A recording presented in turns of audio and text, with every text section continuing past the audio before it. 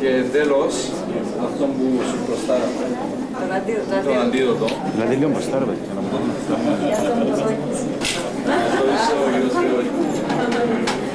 Ωραία.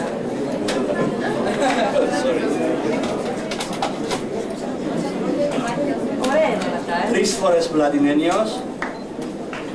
Αντίδοτο. Αντίδοτο.